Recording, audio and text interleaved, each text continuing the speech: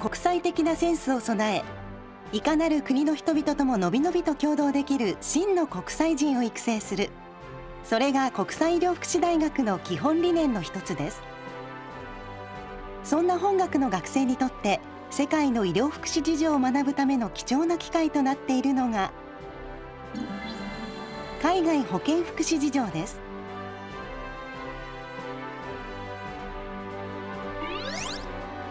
本学では海外保健福祉事情という講義を設けておりこの中で海外研修を行うことで単位を取得できます。参加者はおよそ2週間渡航し研修を行っています。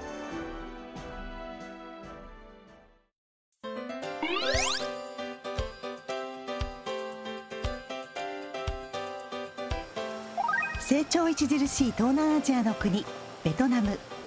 南北2カ所の都市で研修が行われます。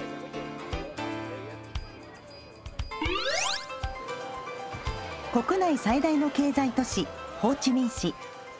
研修の拠点はホーチミン市医科薬科大学。そして南部地域の基幹病院国立長来病院です。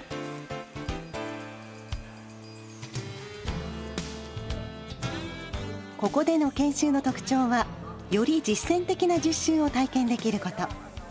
また急速に発展する国が抱える医療福祉の現状や課題を知ることもできます。ベッドに2人人が寝ていたりいろいろ日本の病院とは違うところがたくさんあって驚きました。ベトナムならではのその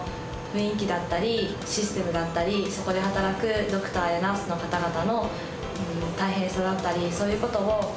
本当に間近でこう感じることができたので今後の経験にすごい生かされるだろうなって思います。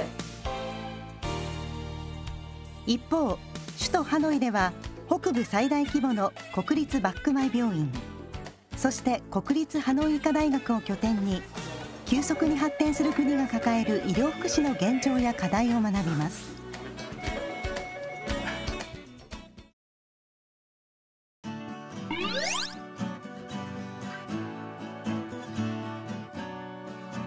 南半球オーストラリア。学生たちは3カ所の教育機関を拠点にそれぞれ研修を行います。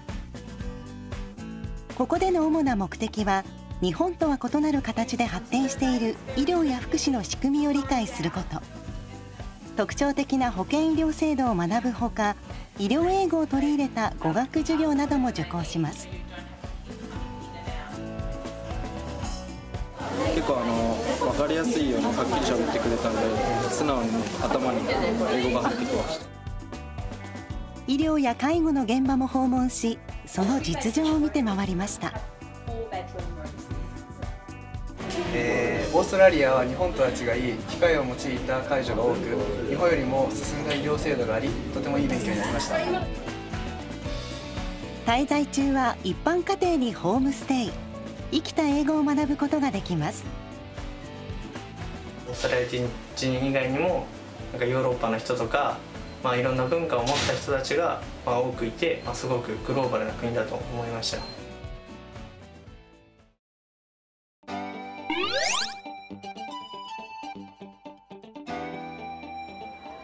東洋医学発祥の地中国。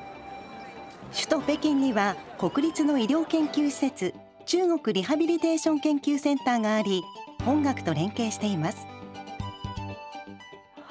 ここではスタッフの指導のもと本格的な実習を行うことができます。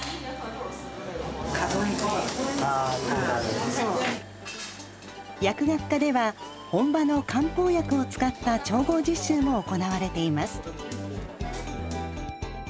中国の薬剤師と日本の薬剤師では結構違いがあることを聞いて自分の中でもっと知りたいなと思うようになりました。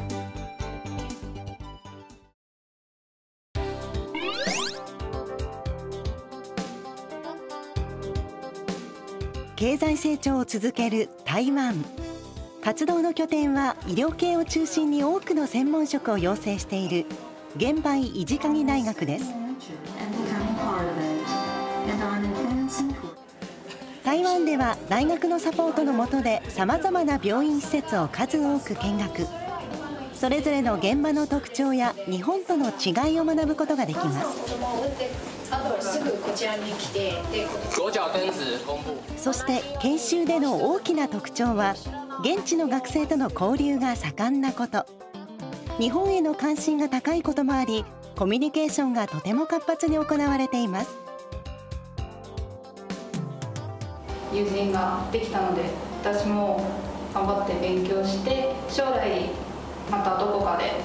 同じ職場でとか会えたらいいなと思います。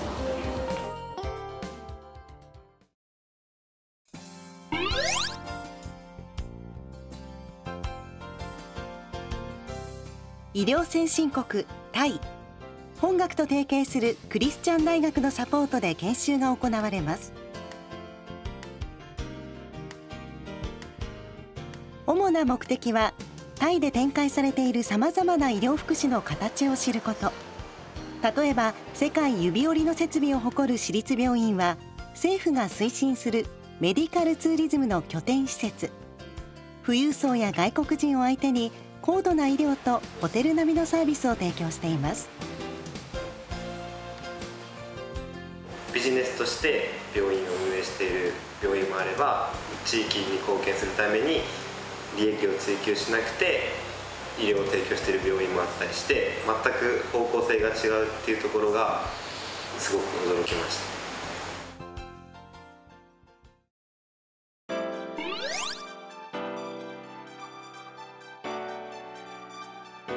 アジアの経済大国シンガポール。ここでは世界最高水準とも言われる医療や教育の現状を学びます。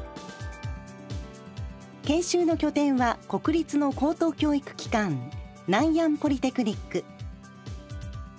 世界的に有名な独自の福祉制度を学ぶほか先進医療の拠点病院など医療施設を回ります。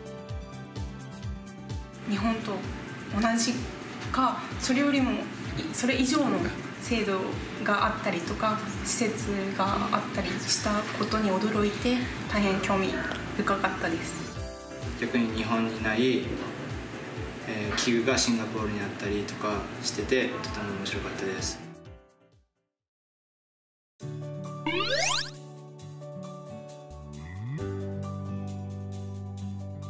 お隣の国韓国。本学と提携する4つの大学で高水準を誇る医療技術やリハビリテーションの現状など医療事情のさまざまな側面を学びます。また日韓の医療専門職の役割の違いも知ることができます。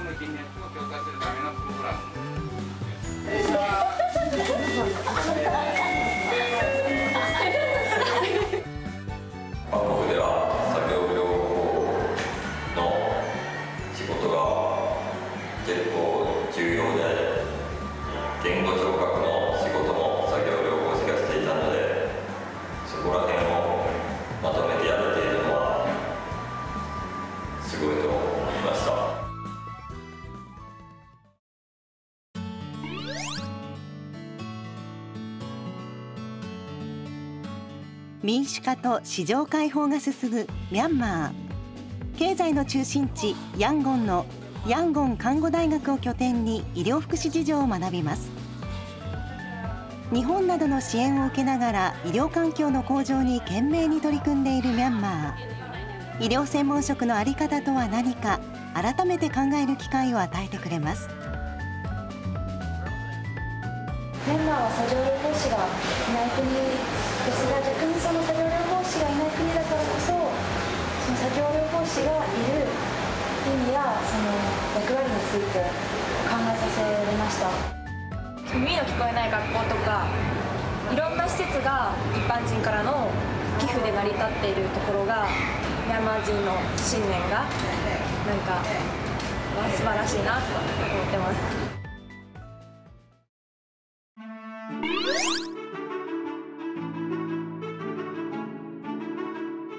歴史と伝統の国イギリス。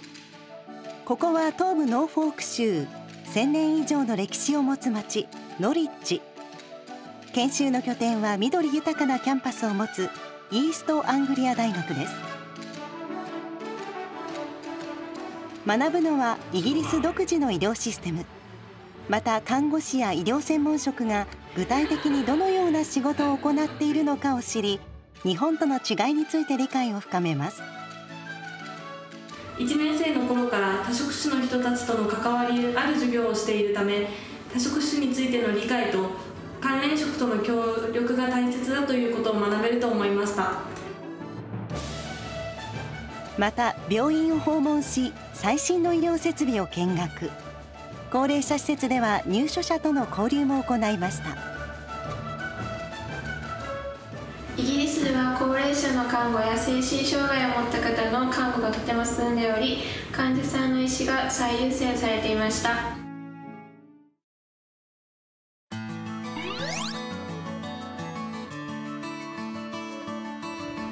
農業大国ラオス。研修の拠点は首都ビエンチャンのラオス国立健康科学大学です。近年の経済成長の一方で新たな医療課題を抱えるラオスの現状を学びます通訳は留学生として本学大学院を卒業された方にご協力いただきました割合や感染症が多いと思っていたのがもうラオスの経済が発展していて生活習慣病やその運動不足によって起こる疾患が多いということも聞いてそこが印象的に残ったと思いました。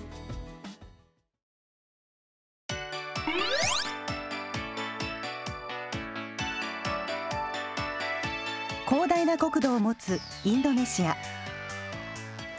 観光地としても有名なバリ島のウダヤナ大学で現地の医療福祉事情を学びます。発展する都市部と地方との医療格差や質の向上に向けた取り組みなどを見て回りました。インドネシアの人はとても明るくて気さくで患者さんと医療職種の人たちの距離がとても近くて信頼関係がすごく築かれているなと感じました老人福祉施設も訪れ高齢者福祉の実情を学びましたえー、と高齢者施設や目が見えない方々の施設を訪れた時に、えー、と自分でできることは全てその人たちにやらせようっていう、えー、と自主性がすごい感じられました。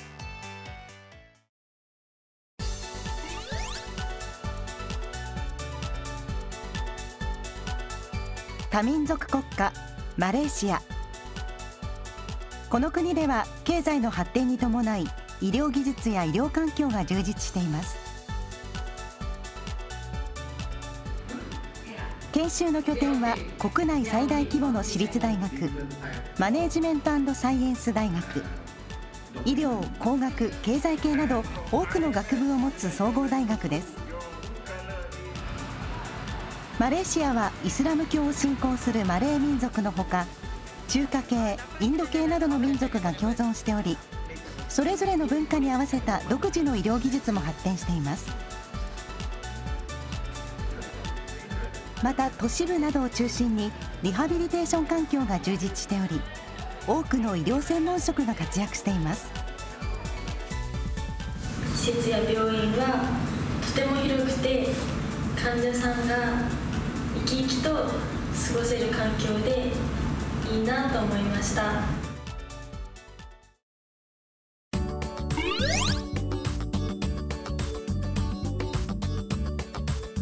近年再び経済成長に転じているフィリピン。研修の拠点は100年以上の歴史を持つ国内最高峰の総合大学フィリピン大学です。ここでは貧富の差を要因とする医療格差の問題や公的医療保険制度の現状など医療福祉の実情を学びます。大学ではフィリピンにおける理学作業言語聴覚など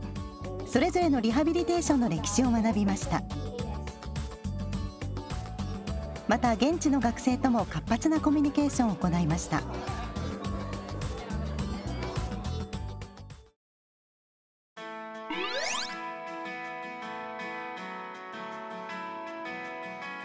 目まぐるしい経済発展が進むカンボジア。内戦終結からおよそ25年が過ぎ経済文化が成長を続ける中での医療福祉の現状を学びます。カンボジアでは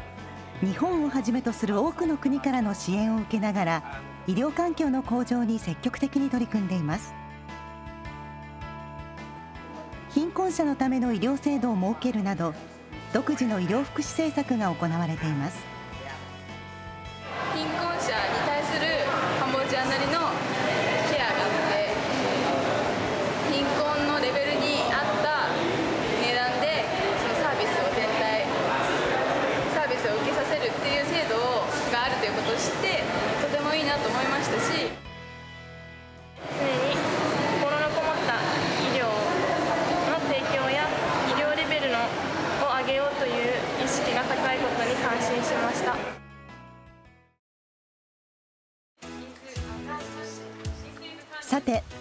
研修の目的は学ぶことだけではありません。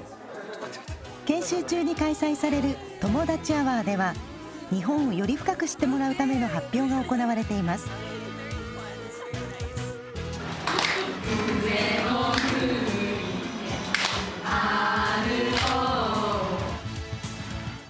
日本を身近に感じてもらうため学生たちは準備を重ね趣向を凝らした発表を行っています。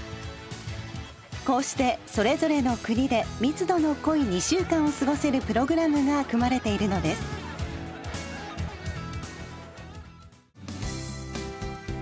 2018年度からはモンゴルのモンゴル国立医科大学ハンガリーのセンメルワイス大学でも研修が開始されます。国際医療福祉大学はさまざまな国の人々と共に活躍できる国際人の育成を目指しています。